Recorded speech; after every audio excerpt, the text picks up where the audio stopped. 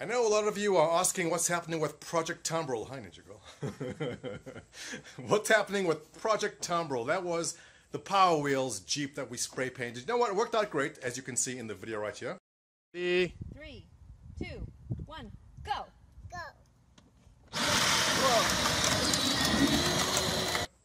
12 to 24 volt conversion worked great, but we were looking for something more of a, a dune buggy type feel, and we found one. Well, when I say we, I say Ninja Girl, she found this.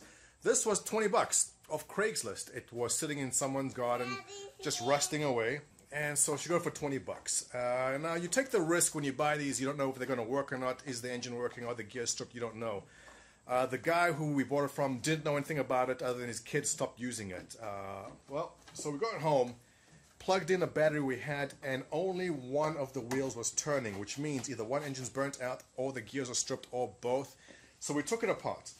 And the first thing we took apart was starting the front with the shifting mechanism, which you see sitting right here.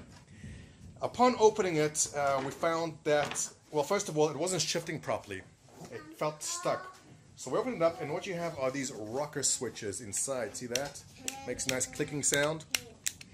And one of the rocker switches was not doing it. So we pulled it out, and this is what we found inside. Rusted, broken pieces. The spring was broken.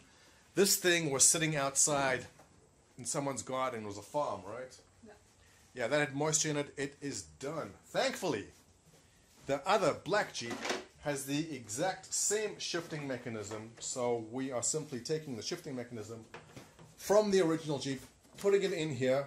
We're going to put this back together now with a battery. Uh, if everything's good, then both engines should work and we're good to go.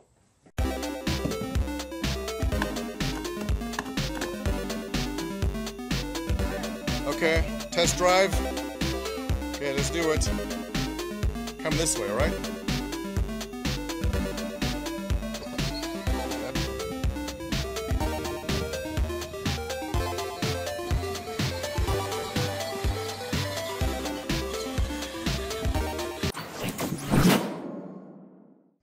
Ladies and gentlemen, welcome to State of the Squadron number 25. I am Montoya, and this is a show where I talk about things happening in and around Star Citizen and the best organization, which is. Hang on. It's on the tip of my tongue. Test Squadron, that is us. First of all, oh, those Power Wheels are so cool. It's becoming quite the hobby. I love. When I was a kid, Power Wheels were so expensive, like only the richest of my friends possibly had them. So I'm really enjoying finding these really cheap deals and getting this for my kids. I hope they appreciate it. So, welcome to Star Citizen, welcome to Test Squadron. Let's kick this off. First of all, welcome, welcome, welcome to over 1,000 new members to Test Squadron. There are a lot of great organizations in this game, some really, really good ones, which I'd love to talk about in another episode perhaps. But you chose Test Squadron, we do appreciate it. Thank you for coming. Don't forget to go to our forums at testsquadron.com and our Discord, say hello. I'm always online, drop in there. It's nice to touch base with everyone. We have a couple of things to hit on. Uh, we're going to talk about divisions within Test Squadron. We're going to talk about CitizenCon, VerseCon, and an Aurora skin. You will not believe. All right, this is our division page. First of all, go to testsquadron.com. On the top, you'll see a button says groups. Click on groups, and there we go. But before we get there, I have to thank our sponsors. And by thank our sponsors, I mean, well, we don't have any sponsors, but uh, everyone who donates to me through the website and through Patreon, thank you very much. It's been about two months since the last video. I usually scroll the names at the end of the video, but I want to give thanks to you right now because there's just so many names to get through and that's going to take forever. So, uh, everyone who goes to the donate link over there, and thanks, uh, thank you very much for your contributions. Uh, they are greatly appreciated. Let me give you all a quick, quick shout out. Bear with me. Sirius 7264 Chlebali, I butchered that name. Cold Dog, Mitch Angel, Tilwraith, Hardock, Mark Bruce, Hardock again, Mark Sand 2, Spectre 44, Triton Rise, F Tech, Panzer Todd, Felix No, Takarian, Calinosity, I hope I got that right, Drist 0001, I'm butchering everyone's names. Sneaky Pete, Gab Grave, Mark Tech, Dumbass. I always laugh when I read Dumbass's name. It's a good name to have. Yes. Grumpy Cat, Zerk Z, Standard Dev, uh, Big Types, Garen, that Spanish bastard, Mark Santu, capital N. Where are we? We are in July already here. Yes.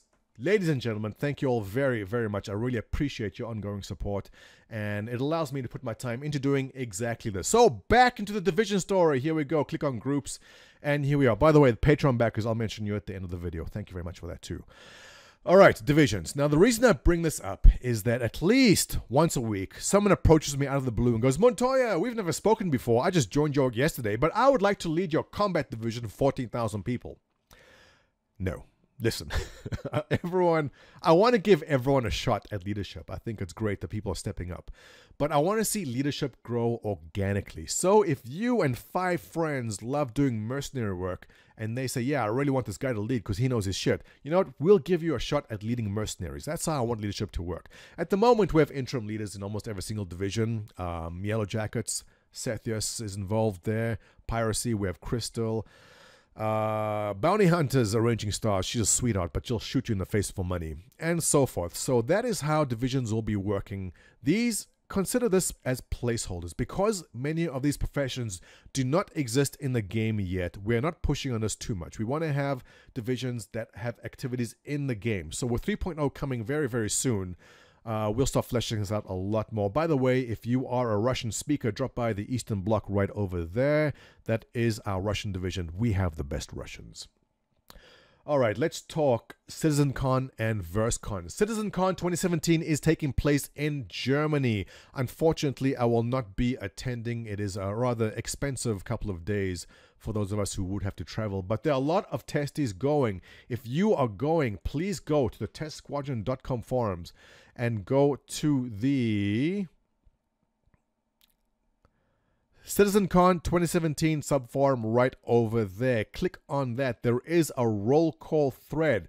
Please log in, drop your name in there so you and other testies can get together. And when you wake up drunk in an alley, missing a kidney, and you need your testes to come get you, we need your name in there. There is also a text thread in our Discord server. By the way, download Discord onto your phone. It's a very lightweight app. It is great. If you have Wi Fi, you can have Discord and you can communicate with the rest of your testes in the Star Citizen, sorry, in the CitizenCon 2017 text channel we have set up. Now, for those of us that cannot make CitizenCon in Germany because it's expensive, there is another option called VerseCon. I mentioned this briefly in my last video. I gotta mention it again right now. Let's go to the page here, versecon.com. Here it is. Now, you know how there are bar citizens, people get together. These are backers of Star Citizen, get together at bars and just hang out and have fun. VerseCon is that, but it is big. It is they have a rented hall. This is really fancy. It is happening in Austin, Texas. I strongly suggest go to versecon.com. If you can make it to Austin, Texas, at the same time, it's October. Let's see what's the agenda here. One second. October 27th. This is a two day event. Please go check it out. Uh, these guys have done an amazing job at making it happen. Pyrophoric, Scuba Steve, huh, looking very sharp there, Scuba Steve. We usually don't see you wearing a tie. Ganny, Roo Smash, Commander Z-Man, Astropub, Captain Richard, Grey-Headed Gamer, and Scrapped have put this all together. Good job, gentlemen. And you know what? Let's let's give a shout out to the whole volunteer team that really put their time into this and have helped make this happen. Clifford, Tacon, Werewolf, Fastcart. Why is Fastcart everywhere? How do you do that, man? Nax looking sharp with his new haircut. Ah, Ideatron, Chief Gully, Mitachi, stop pointing at everything all the time.